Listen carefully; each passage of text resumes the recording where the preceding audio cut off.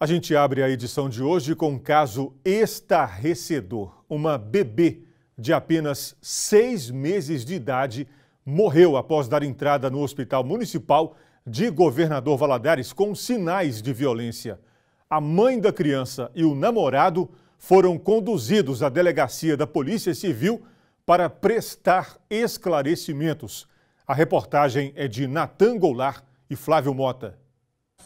Na parte da tarde, a Polícia Civil deu continuidade ao caso que investiga a morte da bebê de apenas seis meses. Investigadores e militares estiveram na casa onde a criança estava no bairro Carapina. A perícia da Polícia Civil fez uma análise na residência e colheu informações que podem ajudar a esclarecer o que pode ter acontecido. Depois que a morte da criança de seis meses foi constatada no hospital municipal da cidade, a mãe e o namorado foram trazidos para a delegacia da Polícia Civil da cidade para prestar depoimento. O corpo da criança foi encaminhado ao IML e durante os exames foram localizadas algumas marcas de violência, entre elas queimaduras pelo rosto da criança, que podem ter sido feitas por um cigarro.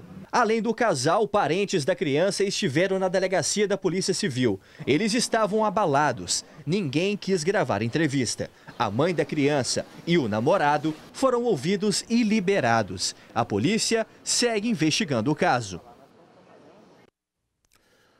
Por meio de nota, a Polícia Civil esclarece que instaurou um inquérito policial para apurar a causa da morte da criança que veio a óbito no hospital e o corpo apresentava lesões que indicavam a possibilidade de crime. Por isso, ele foi encaminhado ao posto médico legal da cidade, onde passou por exames que deverão indicar a causa-morte.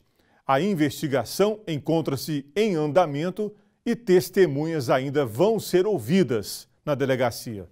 Outras informações vão ser prestadas em momento oportuno para não comprometer os trabalhos investigativos da Polícia Civil sobre esse caso triste que aconteceu hoje em Governador Valadares.